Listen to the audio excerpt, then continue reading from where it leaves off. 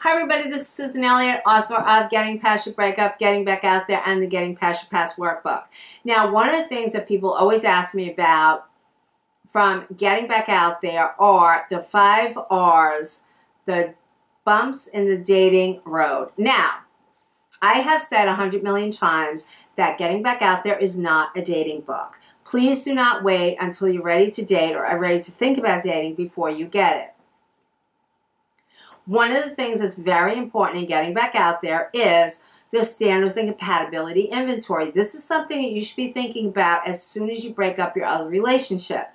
And getting back out there goes into how to design your standards and compatibility inventory. By the time you get to the relationship inventory in getting past your breakup, you should absolutely have getting back out there and you should be doing the standards and compatibility inventory and relationship inventory side by side. It's very important. And there's a lot of different things to think about with the standards of compatibility inventory. So I really urge you to get getting back out there. It's not a dating book long before you're getting ready to date. You will learn about healthy communication. You will learn what a healthy relationship looks like. You will figure out how to bring up different questions when you're in a new relationship or when you're thinking about being in a new relationship. And now that I've said that getting back out there is not a dating book, I want to talk about the part of it that is a dating book. Okay. The five R's. The five R's are the bumps in the dating road. The first one is readiness. Are you ready? Many people think they're ready, then they go on a dating site or they get a fix up through a friend or they they go to some sort of party where there's other people, they think they're ready, and then all of a sudden they think they're not. There's a lot more to am I ready than am I ready. One of the questions is, what are you ready for? And people don't even think about that. Now, one of the stories that I tell in getting back out there, and I've told this, I think I've told it on a podcast, the getting past your breakup, getting back out there, getting past your past podcast is called Getting No. It's it has no getting in the title. It's called Mean Lady Talking. If you want to know why it's titled Mean Lady Talking, go to the first episode of Mean Lady Talking podcast, and that will explain it all. But anyway, Get the Mean Lady Talking podcast. I think I mentioned this on a podcast because I've done a couple of standards and compatibility podcasts. I'm going to do another one today. Anyway, there was a woman that was a client of mine, and she broke up with her long-time relationship. And they live in the same neighborhood. They live on the Upper East Side of Manhattan. And she was crossing the street one day, and lo and behold, what did she see across the street? Her ex that she'd only been separated from a couple of weeks having breakfast with another woman. She lost it. Lost it, lost it. She was hysterical. I had to see her. It was an emergency. Oh my goodness. She was just sobbing, sobbing, sobbing. That Saturday night, her friends drag her out. They're like, You're coming dancing with us. She did not feel like going dancing. She didn't want to go dancing. Her eyes were red from crying all week. She didn't want to go. They forced her to go. She put on a little black dress, little dancing heels, and off she went. They went to a club down in Greenwich Village, and they're out there dancing, you know, just girls dancing. And this young guy, and she's in her early 40s, she has two teenage girls. This guy's in his late 20s, a really good looking guy. He starts dancing with her, she starts dancing with him. They have this amazingly flirtatious night. He says to her, Can I get you a cab home? So she says, Yeah, but then he wants to get in the cab. And she goes, You know, you're not coming to my house because she's a single mom and she doesn't want him coming up to her house. She lives in a dormant building, so she wasn't worried that he was going to try to barge his way in. And she decided that she wasn't even going to get him to drop her off at her building, she was going to get him to drop her off like down the block. So they get in the cab together. He goes, No, no, no, I don't want to go into your house. I just want to make sure that you get home okay. So she goes, Okay. They make out like teenagers in the back of this cab. I mean, she said it was just passionate, crazy, crazy, crazy making out. She said she had the best time. And in Manhattan traffic, even though it was late at night, you know, Manhattan traffic is always like that. It took them a while to get up there. So she said they just had a great time. Now, she went up. She had a little spring in her step. You know, she never saw the guy again. He asked for a phone number. She said, you know, I don't think this is a good idea. I'm not really ready for anything. She wasn't ready for anything but that. She was definitely ready for that. She was ready to make out like a lunatic with somebody 14 years younger than her know what you're ready for. I mean, even if you don't know what you're ready for, you might get out there. You might start dating. You might think, I'm not going to date until I'm ready for a long term relationship again. But you might want to rethink that. You might want to think, well, what's the harm of just going out and seeing who's out there? You know, what's the harm of going out and, you know, having somebody spend a nice time with me? You know, let me see what's going on. And something that I talk about is that many times we want our next long term relationship to be our true love, and many times it's not. Many times our next relationship might be a good relationship with a decent person, and we walk along the road of life for a while, and that's got to be good enough, and then we separate you know, my friend Katherine Woodward Thomas wrote a book called Conscious Uncoupling. And there is such a thing as functional uncoupling where you can actually be in a relationship, understand it's not your one true love. Maybe it is, maybe it's not. I mean, usually when people are in serious relationships, they're moving in together, sometimes you're even getting married, you don't know that this isn't your one true love. I actually gave up on the idea of a soulmate before I met my soulmate. You know, I just didn't believe in it. So sometimes you don't know what is going to be your finality with this person. You don't know that you're going to share this person's life for a while and they're going to share yours and it's going to be good and decent and loving and then one day you're going to go oh, you know what? I want to do this. Oh, you know what? I want to do that. And getting back out there, I talk about the 3 a.m. person. We don't have that in our head when we're dating. And that's why I talk about the standards of compatibility inventory. You have to know who your 3 a.m. person is. And the 3 a.m. person is a getting back out there concept that I came up with, that I developed over the course of talking to people for many years of being their therapist and doing my own dating and relationship outlook. Like, what do I want?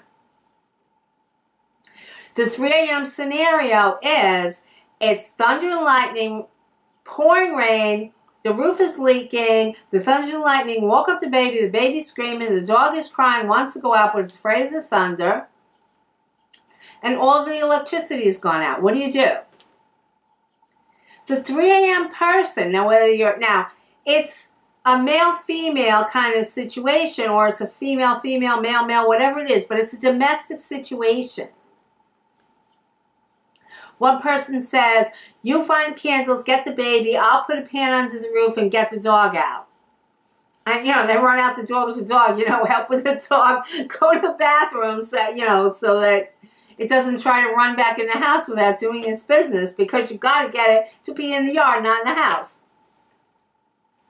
That's the 3 a.m. person, whichever one you are. Either you're the one who's, you know, saying you do this, I do that, or whichever. You act as a team. You look at all the issues. You divide them up. You say, okay, you do this, I'll do that. You don't want the person who goes, I told you I didn't want the dog. I told you to call somebody about that roof. I told you. You don't want the blamer. You also don't want the bolter. You don't want dog, roof, baby, bye. You also don't want the person who goes, you know what? Sally's roof isn't leaking. Sally's dog doesn't want to go out. Sally's baby's not crying. I'm going to live with Sally. Those are the three you don't want. You don't want the bolter, you don't want the blamer. You don't want the Sally lover. Bye-bye, Sally lover. And I had the Sally lover. So like, you know what? Sally's kid's crazy. I'm going to go live with Sally. Because your kids are not crazy. Trust me. It's an inside joke. So when you do your standards of compatibility inventory, you want to know what your 3 a.m. person is like. Now, that's a domestic sin. I always tell people it doesn't have to be that. If you want to go into business, you want somebody who's going to support you, who's going to help you. Not somebody who's going to blame you or your business if something goes wrong. You don't want to both. Oh, I can't handle this. You know, your business is, you know, in the red and I got to go. And you don't want somebody who's like, you know, well, Sally's business is doing good. I'm going to go with Sally. No. Or traveling the world. You know, maybe you want somebody who's going to travel the world with you, who likes to travel or do whatever. You want somebody, the 3 a.m. person, when everything's going wrong, whether it's 3 a.m., 2 p.m., in New York, Argentina, London, wherever, whether you're a woman who loves a man, a man who loves a woman, a man who loves a man, a woman who loves a woman, whether you want to get married, whether you want, don't want to get married, whatever it is, whether you want to live in the country, the city, doesn't matter. There's a 3 a.m. person for you. You got to figure out who that is, who looks at life the way you look at who's going to pitch in and help you, who's going to be a support, who's going to add to your life and not take away from it. Your 3 a.m. person is somebody who widens your life scope, doesn't narrow it. Doesn't make you miserable because something happened. I mean, I've been in relationships where I would get blamed for the thunderstorm. Thunderstorm, going to Sally's. You caused that thunderstorm. If you didn't cause that thunderstorm, I would have been out with Sally. What? Honest. Honest to God. Anyway. So you can know what your 3 a.m. person is, but when you go out dancing with somebody, you're not going to be able to know if they're your 3 a.m. person. You have to figure it out. First of all, you have to figure out what your 3 a.m. person is. Second of all, you have to know what to look for. So if you haven't figured that out yet, what are you ready for? You don't know. You're not ready for your long-term relationship. You're not ready to look for your 3 a.m. person. But maybe you're just ready to go out on the town. Maybe you're just ready to have some light dates. Maybe that's all you're ready for. That's okay. Know what you're ready for. Okay, the next thing is rejection. Many times when we go out on a date and somebody doesn't like us, we are heartbroken. We don't even know if we like them. I always tell people, you've got to get the job seeker mentality out of your life. It's not, oh, I want to present myself in such a way that this person is going to want to be with me. You want to get into a mind frame, do I want to be with this person? Now, suppose you decide you really do. You, you like this person, you like what they're all about, you've had a few phone conversations, you've been out a few times, you really like this person. I want to continue this. I want to see where this is going. And all of a sudden the person goes, there's nothing here. And you're shattered. Why are you shattered? I always say in the number one getting past your breakup video is when the person you love doesn't love you. If you put those words in with my name, Susan Elliott, it will pop right up. It's the most popular video that I've ever done. And I say in that video, the number one requirement is wants to be with me, wants to be with me. The minute the person walks out the door, they no longer meet that requirement. Wants to be with me gets off the list and they're no longer a viable option. That goes for dating. If somebody sees that you're not their 3 a.m. person for whatever reason, you just move on. That's all. You just move on. I had a couple in therapy for a long time, and it, the relationship didn't work out. And I was the first one to see it. They were holding on. It was crazy.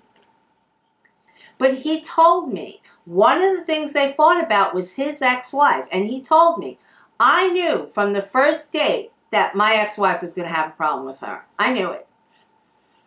And he was so codependent on the ex-wife. They had such an immense relationship that he could not, could not and would not disengage from the ex-wife to make this marriage work. But he said, I knew on the first date that there was going to be issues. And he pursued it anyway. Maybe your person knows something you don't know. Maybe that person knows, oh, my ex-wife is going to have a problem with this. Could have a problem with the way this one looks or the education or, you know, whatever. The, the ex-wife's going to be threatened by this or something else is going to happen, or my mother's not going to like you. Whatever it is, some weirdo thing that you don't know anything about. Just because they're rejecting you doesn't mean they're rejecting you. They don't know you. They have no clue about you. You could be the best thing that never happens to them. Don't let that rejection say anything about you. You have no idea why, and you only want to be with people who want to be with you. You only want to be with people who can look at you and say, whatever information I have right now is pretty good. I like this. And I always tell people, think of hypothetical questions based on things that actually happened to you. You know, say, if you're in a relationship with Papa, what would you do if this happened? And think of things that have happened to you when people have done the wrong thing. And see what they say. Make your first few days a bit of substance. Have some idea about the 3 a.m. person. And also ask about their relationships. You don't have to grill them. You don't have to bring it up as so, so serious, and especially on a first date. But you want to listen for somebody who blames all their broken relationships on the other person. I've always said one of the reasons I really liked my husband Michael was he told me his first wife was an angel. I I really love that. I never heard a guy say that. I mean, some guys have said this person was nice, that person was this, but I never heard anybody say that their ex-wife was an angel. And and he was very serious about it. And he knew that he did wrong, but he was 20 years old. The next date in the next bump in the dating road is recycling. Now this happens a lot of times we'll go out on a date, we'll have a good time, and all of a sudden we're crying in the car on the way home. All of a sudden we miss our ex desperately. And what I usually tell people is it has nothing to do with being ready, it has nothing to do with, with feeling rejected, it has nothing to do with anything but the feeling of comfort. When we are in a relationship, we could come home, we could kick off our shoes, we could take our makeup off. You know, if you're a guy, you could scratch your chest, pass wind, you know, whatever. We are not doing that when we're dating. We're on our best behavior. We're being very self-conscious about the way we look, the way we act. You know, is there lettuce in our teeth? When you're in a long-term relationship, you can let all that pretense go. Many times when we start recycling, whether we've had a good date or not, it's because we miss the comfort of our relationship. Not necessarily our ex, not necessarily what was, but the comfort of not having to go through these motions. Not having to, you know, laugh, you know, somebody's joke that wasn't funny you know, not having to pretend to be interested in something you're not interested in. And the uncertainty of do they like me? Do I like them? You don't have to go through that when you're in a relationship. So once you are exposed to those things, you can recycle very, very easily. The other thing that happens is you don't go through any of that. You have a nice time, they have a nice time, you're comfortable, you, you have a great evening. You're looking forward to another date. You both agree, like, yeah, we're terrific, and let's see each other again. And the next day you wake up, you're pinned to the bed, you can't move, and all you think about is your ex. And you're crying, you don't know why, you don't know what's going on, it's horrible, you hate it. Again, it's residual grief that's coming up for the parts that you haven't grieved yet. It's because the good day is you're moving on. And your psyche knows that you're moving on. So it's like, oh, got some residual grief here. Here, pay attention to me. So spend the day with your grief. Journal about it. Talk about it. It's okay. Recycling is normal. It's perfectly okay. I know it doesn't feel okay, but you've been down this road before. You can deal with the grief. You can deal with the recycling. It's not going to last forever. It doesn't mean you're making a mistake. It doesn't mean this person that you have good feelings about is the wrong person. It doesn't mean you still want your ex, and it doesn't mean that the person that you're not having good feelings about is the right person. It just means that it is what it is, and just deal with it, and it will go away. The fourth one is rebounding, and what I usually tell people about rebounding is the best thing to know about rebounding is that you're doing it. It's not really fair to somebody else if you know you're rebounding and you don't let them know that you're not really here for a long-term relationship. If you know you're rebounding, if you're rebounding because your ex is rebounding, you could just say, well, you know, I'm not really ready for a serious relationship, but, you know, let's see how it goes, blah, blah, blah. I mean, you to say, hey, I'm on a rebound. Because the other person will rebound right out of the room. But you have to be honest with yourself, and you have to be honest to a degree with the other person. I'm not really, you know, ready for a long-term relationship. I hope, you know, that's not what you look. If that's what you're looking for, we're not right. Rebounding when you're not honest with yourself, you're not honest with somebody else, amounts to using somebody. It's not okay. And many times the only reason you're rebounding is because your ex is rebounding. If your ex wasn't with somebody, you wouldn't be with somebody.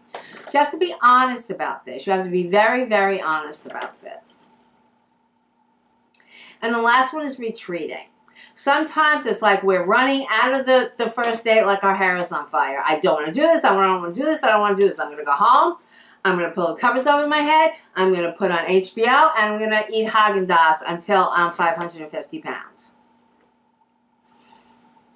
That is a normal and natural reaction sometimes to a date. I don't want to do this. I don't want to do this. I don't want to do it tomorrow. I don't want to do it next week, next year, ever, ever, ever.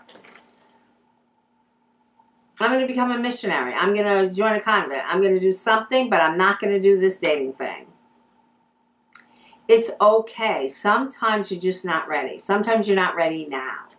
Sometimes you're not ready for whatever it is you thought you were ready for. Sometimes you just have to retreat and go back and do some more work. Sometimes you have to retreat for a week and go, okay, hang on. I'm fine. That was some freak out. Not necessary. I can do this. Other times retreating is, you know what? I really do need some more time. And it's okay to retreat over and over again. It's okay to go out, try it, uh, go back, uh, go back. Okay, getting back out there is not a dating book. You need to get it as soon as you break up. You need to get it with getting past your breakup, and you need to use the two books together. But if you're ready for dating, those are the five R's. The book goes into more about them, but no matter what it is, you can do it. If you have any questions, let me know. Put stuff in the comments. Join the Facebook group, facebook.com backslash groups backslash getting back out. No, sorry, erase that. Getting past your breakup Listen to the podcast, Mean Lady Talking podcast. Send me email, Mean Lady Talking podcast at gmail.com if you have any topics that you want on the podcast. And I look forward to your cards and letters. And I hope you enjoy the video. And there'll be a lot more as soon as I get my technology settled away. Talk to you guys later. Talk to you soon. Bye-bye.